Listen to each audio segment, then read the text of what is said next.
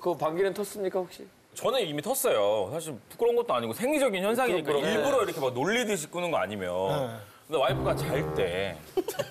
아 그거는 못 참겠다. 잘 죄송해요. 저는 부르면 음악 배운 줄 알았어요.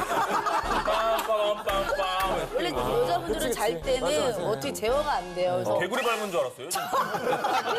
네, 막, 막.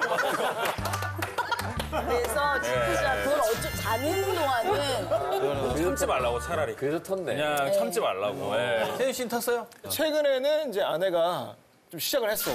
어, 늦게 하신 거다. 10년 그쵸. 됐는데. 네, 뭐 오래 참으셨죠. 어.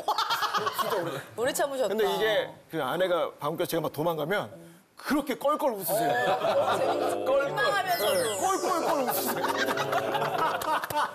요즘에 공기청정기에 뭐 미세, 초미세 맞아요. 상당히잖아요. 근데 신기하게 아내가 방귀 뀌면 바로 빨간색으로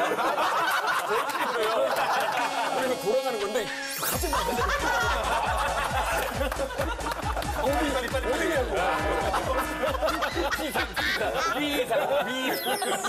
근데 이거는 뭐 한 번도 얘기는 안 하셨을 것 같은데 나이 차이를 조금 느낄 때 있습니까? 저는 친구분들에서 딱 차이 나잖아요. 그때부터 뭔가 오빠인 척, 예, 오빠라고 불러 이렇게 하거든요. 그냥. 예. 그때 좀 와닿았어요. 예. 나는 벌써부터 재밌는 컨텐츠 생각하고 있는 게 아내한테도 동의 얻었는데 아, 아내가 환갑잔치 먼저 하실 거잖아요. 4년 전, 4년 먼저 하시죠. 4년 먼저. 그러네. 제가 없고 막 그만해서 벌써부터 이렇게. 네. 어, 전 싫어요, 근데. 저는, 전 자꾸 누나하고 이런 거 싫고, 언니가 되게 쿨한 것 같아.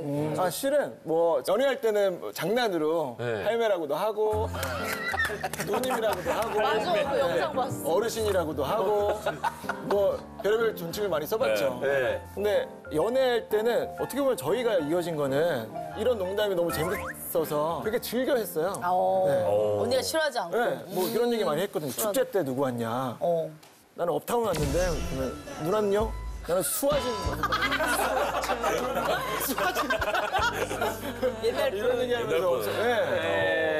제 진짜 웃음 소재로만 사용이 되고 실제로는 아, 그렇지. 솔직히 말하면 실제로는 저는 나이 차이 잘 모르겠어요. 어, 갑자기. 포장, 가져다 포장하시는 냄새 거. 나는데, 같은데. 아직도. 무슨 남자가?